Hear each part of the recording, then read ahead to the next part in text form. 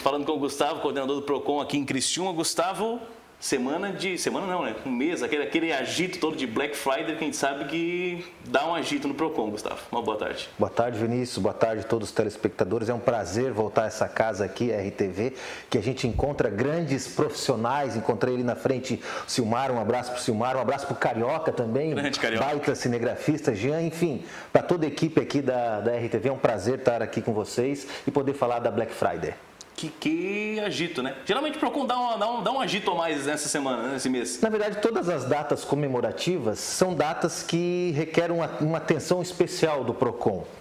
Por exemplo, a Black Friday é sempre comemorada, é sempre realizada, na verdade, na última sexta-feira do mês de novembro, né? e desse ano também não, não, não é diferente. Para vocês terem uma ideia, em 2018, a Black Friday movimentou no Brasil mais de 2 bilhões de reais, Vinícius. Então é uma data muito esperada para os consumidores. Tem gente que espera o ano inteiro para fazer uma compra com um bom desconto no, na última sexta-feira de novembro. Aqui em Criciúma também movimentou milhares de reais, a gente não tem os dados concretos hoje, porque ainda não, não foi revelado do ano passado, mas movimenta muito o comércio e isso requer uma atenção especial, como você mesmo falou no início. O que, que a gente está fazendo? Né? A gente está é, verificando 23 itens mais vendidos na Black, na Black Friday, entre geladeiras, smartphones, celulares, enfim, são 23 itens que a gente está fazendo a pesquisa de preço em 15 estabelecimentos comerciais aqui da nossa região para verificar no dia da Black Friday se houve um aumento ou não. Para não virar aquela brincadeira do pessoal, Black Fraud, né? Exatamente, porque o que, que a, gente, a gente conseguiu constatar em anos anteriores? Né? Que, o, por exemplo, a, a, uma televisão né? Era um valor até a data do, da Black Friday e no dia da Black, da Black Friday, né, esse televisor ele, eles aumentavam e colocavam um desconto que ficava, na verdade, no mesmo valor que era o televisor. Não mudava nada. Né? Não mudava nada. E isso é uma fraude, isso não pode. E a gente, para coibir esse tipo de fraude, esse tipo de prática abusiva, nós estamos fazendo pesquisas de preço durante toda, toda essa semana. Já iniciamos a semana passada com nossos fiscais e vamos fazer durante todo o mês. E no dia da Black Friday, iremos fazer uma fiscalização em todos esses estabelecimentos para verificar se houve essa prática abusiva ou não. Né? Isso é, é importante, até a gente fazer essa divulgação, que a gente até coíbe esse tipo de prática abusiva e os consumidores acabam não sendo lesados. Ainda dessa, desse dia, que a gente diz semana, porque hoje em dia o brasileiro do dia virou um mês, né? Bem dizer, as lojas acabaram esticando. Mas qual é a maior dificuldade para esse dia do PROCON? Na verdade, a gente não tem dificuldade nenhuma.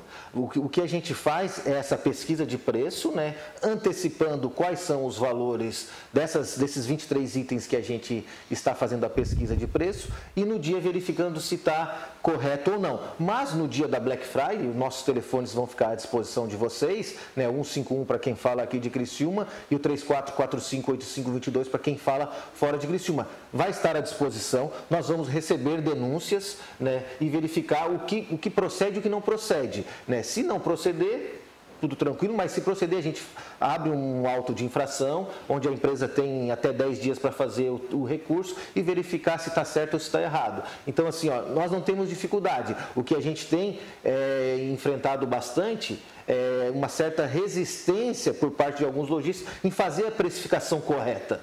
Né? É muito importante que a precificação esteja correta para que a gente não, esteja, não tenha, nós não tenhamos nenhum conflito numa relação de consumo. Outra coisa que o pessoal, além, lógico, do comércio físico, é o comércio virtual. A gente sabe que nessa, nessa época também dá aquele, aquele up, dá aquele plus no, no comércio e, ao mesmo tempo, essas fraudes vêm junto. Sabe que foi divulgado recentemente, recentemente através da, da, do SPC Brasil e da CDL Nacional, uma pesquisa que mais de 40% das compras na Black Friday são pela internet. Então, uma dica muito importante, né, você verificar qual é o site de procedência, se o site realmente que você for fazer a compra tem uma procedência boa, né, verificar até no nosso site ali no procon.criciúma.sc.gov.br Tem os sites que são recomendáveis e os que, e os, que têm uma certa. É, que, que, não são recomendáveis, na verdade, que já aplicaram algum tipo de golpe. Né? Então a gente ficar bem atento quais são os sites, qual é a procedência.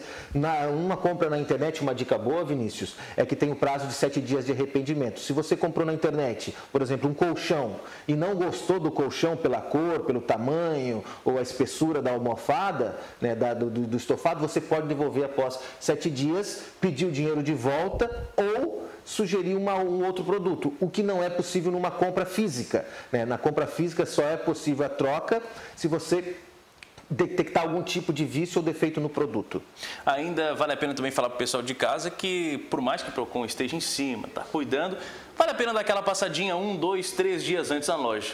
Isso mesmo, Vinícius. Essa é a principal dica que o Procon de Criciúma dá fazer sempre a sua própria pesquisa, verificar se você precisa realmente de um produto, não se levar simplesmente pelo desconto que é oferecido, né? Você pode ir, começar agora já, ir namorando uma televisão, vendo os preços, verificando qual é a loja que tem o melhor, o melhor valor e no dia da Black Friday você fazer essa escolha. É muito importante essa pesquisa de preços também do consumidor, que aí você não gasta desnecessariamente. É, gastar desnecessariamente não é bom.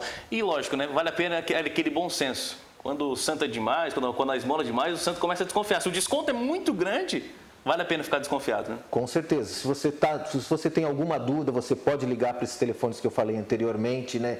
E é importante lembrar também que o PROCON de Criciúma, ele faz todo o atendimento só no município de Criciúma. Nós não temos jurisdição para atender em outros municípios. Mas todo o comércio feito aqui no nosso município, a gente atende, a gente tira dúvida, a gente esclarece, o nosso telefone está à disposição sempre para sanar todas as dúvidas dos consumidores. Isso é muito importante.